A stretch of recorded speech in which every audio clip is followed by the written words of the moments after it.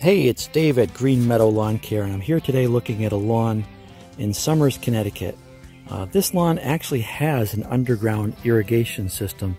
Somebody just moved into the property, and we're trying to get them on track.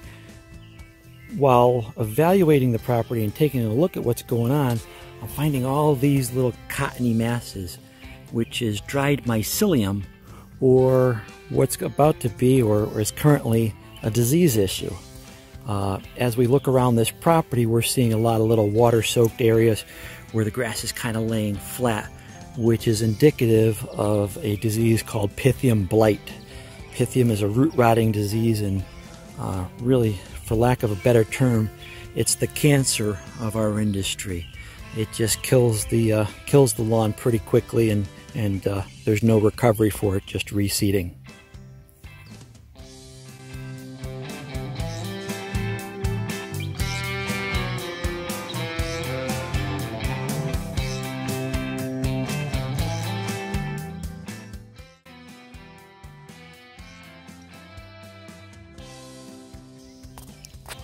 So while evaluating what to do with this lawn that has Pythium blight in a few areas, primarily around the edges where it's a higher stress, more probable disease damage area, uh, in talking to the potential customer, we found out that the, really the entire lawn has a lot of thin areas that are going to need overseeding in the fall.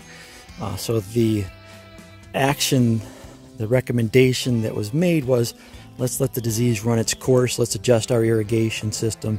Might be a little more turf loss, but we're planning on overseeding everything, or he's planning on overseeding everything in the fall time anyhow. So um, fungicides aren't always needed. Uh, just really want to evaluate what's going on and what your customer is looking for.